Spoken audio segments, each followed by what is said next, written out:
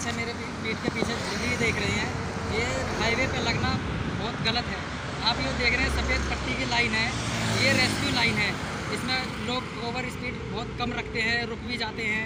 कोई no parking भी लगा देते हैं। किसी गाड़ी में समस्या आ जाती है तो अपनी गाड़ी को रोक के मेंटेनेंस वर्क नहीं कर सकता। लेकिन यहाँ पर कुछ और ही है।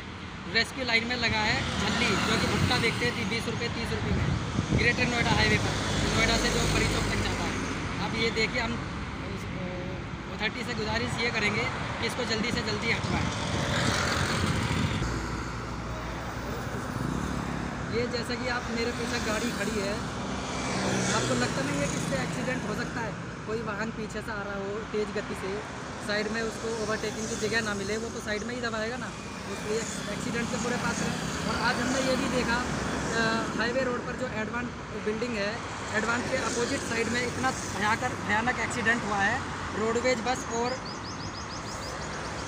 बीच में डिवाइडर के डिवाइडर में जो पौधे होते हैं, उनमें पानी लगा था टैंकर। टैंकर पानी लगा रहा था।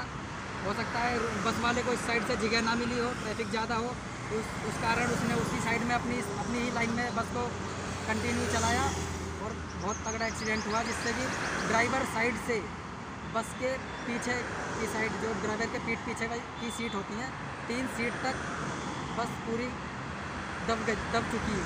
पाँच छः लोग तो पक्का उसमें जान पाँच छः लोगों की तो पक्का उसमें जान जा चुकी होगी और पुलिस प्रशासन द्वारा जाँच भी चल रही है।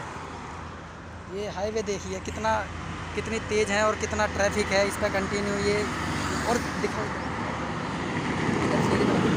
और सबसे बड़ी बात ये देखिए जो झिल्ली वाले हैं ये बारह चौदह साल के सोलह साल के बच्चे हैं। अगर इन इन इनसे कोई कुछ कहता है तो ज़्यादा मुँह भाषा कोई करेगा नहीं।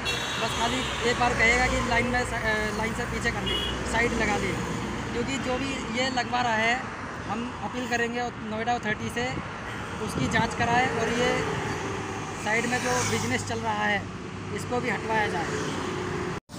लड़की है। अब देखो हम कच्चे ये जैसे पे गाड़ी खड़ी है हमारी स्पीड तेज होगी हम तो चलो चलो चलो चलो। राइट साइड में मोड़ेंगे ना पीछे से कोई गाड़ी आ रही होगी तो टक्कर लगेगी नहीं लगेगी। ये जो हम आ रहे हैं नोएडा की तरफ़ से परी चौक की साइड बढ़ रहे हैं। अभी तक हमने कम से कम बीस छब्बी वाले देख लिए हाईवे पर। चलो। हर 200 मीटर 300 मीटर बाद ये छब्बी वाला मिलेगा। इसे लिटाओ ना। हाँ। ये लिटाओ गिरेगा सिलेंडर गाड़ी लगी है इस तरह से एक्सीडेंट नहीं होंगे क्या हाईवे पर? इस हाईवे पे कम से कम 80 से नीचे कोई चलता नहीं है। बाइक वाला 60 भी चलेगा।